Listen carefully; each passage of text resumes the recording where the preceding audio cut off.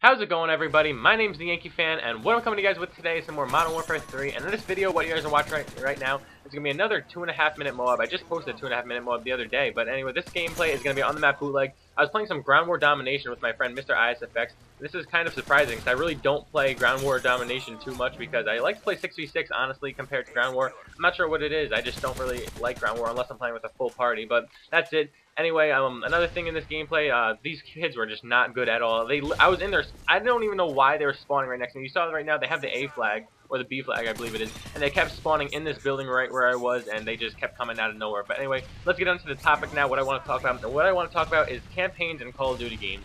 And yes, if you guys didn't know, there actually is a campaign in every single Call of Duty game. And uh, I know a lot of you guys are pubs, and you like to play the pub, pubs and uh, zombies, and, but you guys don't really pay attention to the campaign. And honestly, campaigns are probably one of my favorite things to do when the game comes out for Call of Duty. It only lasts like two weeks, but it's definitely a lot of fun to play. And uh, I'm definitely going to be doing that with Ghost again when it comes out. But anyway, let me know in the comments down below. Do you guys play the campaigns in Call of Duty games? I'm, I'll take a bet about 75% of you guys have never played one of the campaigns in uh, Call of Duty. Or if you did, you only played a couple of missions on it. And uh, that's kind of sad, to be honest with you, because if you're a Call of Duty fan, you really need to play the campaign. I really strongly suggest it. If you haven't played one yet, go ahead and play Call of Duty Ghosts campaign when it comes out and it'll have the same feeling and I don't know what it is but I love playing single player games. Like when I got GTA 5 all I would do is just play the single player of GTA 5 until I finally beat it and it was just a lot of fun I'm really looking forward to some new games that are coming out as well for next gen like Watch Dogs even though that's delayed till 2014 but uh, I'm really looking forward to a lot of these games I can't think of off the top of my head all the other campaigns that are coming out but it's just gonna be a lot of fun and if you guys have played the, the uh, any of the Call of Duty campaigns let me know which one is your favorite I, honestly I just toss up in the air. I'm not sure if it's Modern Warfare 3 or Black Ops 1. That's my favorite campaign. I just think that both of those had a really good storyline in it.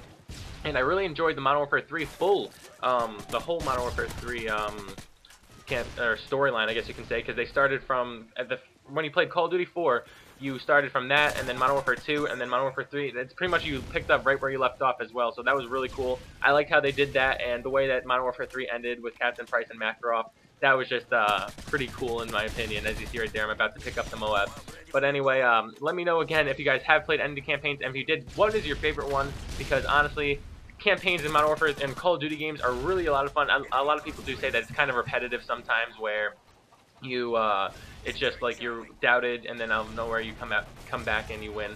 But anyway, with Call of Duty Ghosts, the campaign really looks pretty cool. It looks like there's some kind of like mass destruction with uh, America and then we are like the secret military or something like that where there's we're all that's left and we're gonna come out and we're gonna destroy you guys. So that, I really want to see how that one ends. Anyway like that, that's gonna be the end of this video. I don't I'm not really sure what kind of a gun streak I did go on at the end. I didn't really count. But anyway if you guys did enjoy the video make sure you drop a like and let me know if you guys have played any of the campaigns in Call of Duty games. My name is the Yankee fan. Hope you enjoyed. Have a good day. Peace guys